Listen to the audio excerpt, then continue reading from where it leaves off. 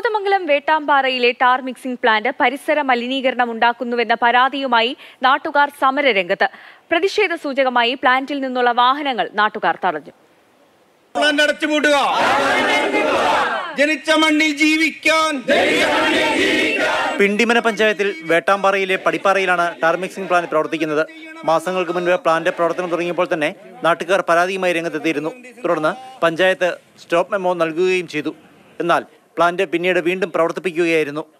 Dean construction എന്ന tar mixing plant ഇന്ന് വാർഡിലെ ജനങ്ങൾക്ക് ഏറെ ബുദ്ധിമുട്ടുണ്ടാക്കുകയാണ്. എല്ലാവർക്കും തന്നെ ശ്വാസമുട്ടും അലർജിയും മറ്റ് ബുദ്ധിമുട്ടുകളും ഉണ്ടായി. ആളുകൾ ഇവിടെ ശക്തമായി ഇതിനെ എതിർക്കുകയാണ്. കാരണം ആളുകൾക്ക് വളരെയധികം ബുദ്ധിമുട്ടുകൾ സഹിച്ചാണ് ഇവിടെ ആളുകൾ നിൽക്കുന്നത്.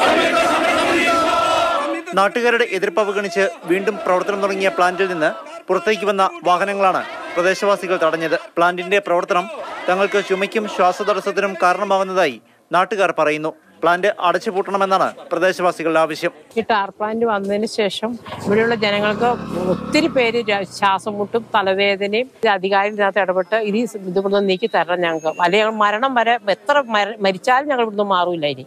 പിന്നീട് കോതമംഗലം പോലീസ് സ്ഥലത്തെത്തി സമരക്കാരുമായി മണിക്കൂറുകളോളം ചർച്ച നടത്തിയ ശേഷമാണ് വാഹനങ്ങൾ വിട്ടയച്ചത്. മാതൃഭൂമി ന്യൂസ് കൊച്ചി.